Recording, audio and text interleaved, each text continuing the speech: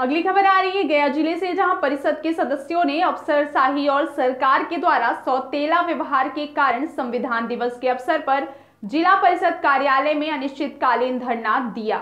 उक्त धरना की अध्यक्षता जिला परिषद अध्यक्ष नैना कुमारी ने किया। धरना को संबोधित करते हुए जिला परिषद उपाध्यक्ष डॉक्टर शीतल प्रसाद ने कहा कि 11 माह पूर्व त्रिस्तरीय पंचायत चुनाव हो गया है। और आज तक जिला परिषद को विकास कार्यों से वंचित करके रखा गया है। उनका कहना है कि एक चौपाल भी नहीं लगवा सकते हैं। एक तरफ़ सरकार और दूसरी ओर अफसर अफसरशाही दोनों मिलकर ग्रामीण क्षेत्रों में विकास को अवरुद्ध कर दिए हैं। पंद्रहवीं वित्त योजना की राशि पड़ी हुई है, लेकिन इसका उपयोग नहीं किया जा रहा है। वित्तीय वर्ष 2016-17 से लेकर 2022-23 तक का फंड राज्य सरकार एवं केंद्र सरकार द्वारा आवंटित विभिन्न का निष्पादन नहीं किया गया है।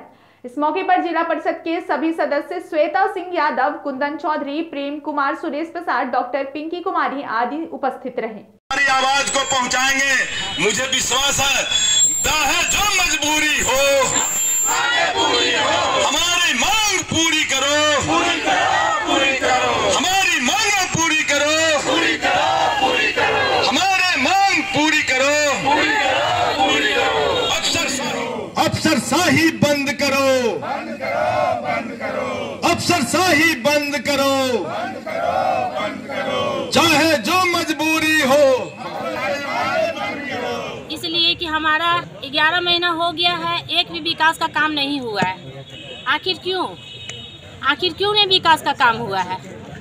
हमारे क्षेत्र में जो भी प्रतिनिधि जाते हैं, वो लोग पूछते हैं कि इतना दिन हो गया है, विकास का काम नहीं हुआ, क्या है? क्या आखिर हो रहा है? तो अब अफसर सारे यहाँ बना हुआ है। कोई यहाँ बात सुनने के लिए नहीं है। तो हम लोग अपना धरना प्रदर्शन दे रहे हैं। जब तक हमारी मांगे पूरी नहीं होगा, हम लोग यहीं रहेंगे। यहाँ जिला परिषद में खास करके हम लोग का ग्यारह माह चुनाव हो जाने के बाद भी अपने अपने क्षेत्र में कोई जिला परिषद एक भी कार्य सुचारू रूप से काम नहीं किया है। आज करोड़ों रुपया सरकार का आवंटर यहाँ पड़ा हुआ है और बैंक का शोभा बढ़ा रहा है। आज हम लोग का जनता वोट दे कर करके उम्मीद पर खरा उतरने के लिए चुनाव जिता करके हम लोग के भेजा था।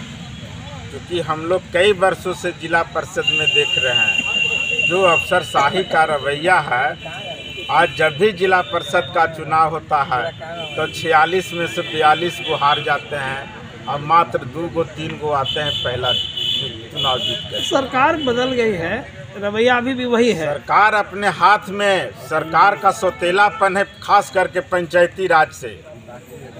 पंचायती राज में इतना सौतेलापन है कि हम लोग का चुनाव जीतैला के बाद यदि आपसे हमसे काम नहीं लेना है चुनाव क्यों आप करवा रहे हैं?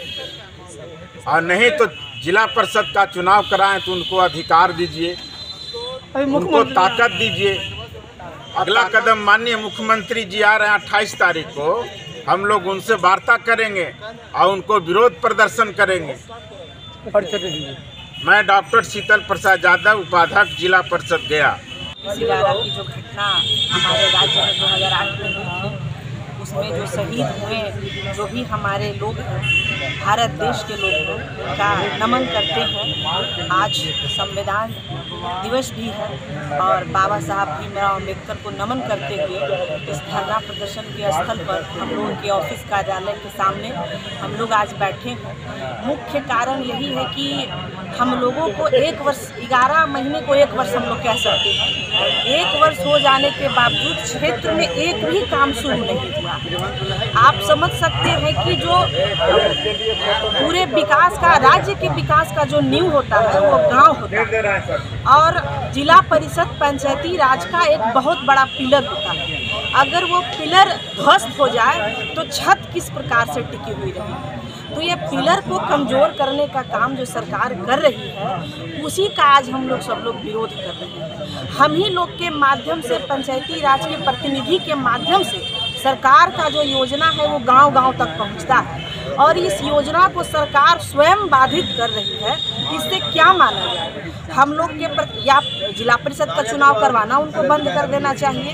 और अगर जिला परिषद का चुनाव करवाती है, पंचायती राज का प्रतिनिधित्व करवाती है हम लोगों से तो हम लोगों के साथ जो व्यवहार है, उस व्यवहार को बदल देना चाहिए। हम लोग यही निवेदन करेंगे सरकार से और संविधान दिवस के दिन मांग भी करेंगे कि बिहार कोई स्पेशल राज नहीं है। चूँकि आज संविधान दिवस है तो महिलाओं की भी बात करेंगे कि बिहार में स्पेशल महिलाओं को अधिकार नहीं दिया गया। कई ऐसे राज्य है, हमारे बगल का झारखंड का राज्य है, जो महिलाओं को अधिकार दी है। तो सिर्फ़ पंचायती राज के व्यवस्था में क्यों? लोकसभा और विधानसभा में भी अगर इस प्रकार का आरक्षण होता तो निश्चित रूप से हम मानते हैं कि पंचायती राज और मज़बूत होता। तो ये व्यवस्था उन्हें वहाँ भी देनी चाहिए।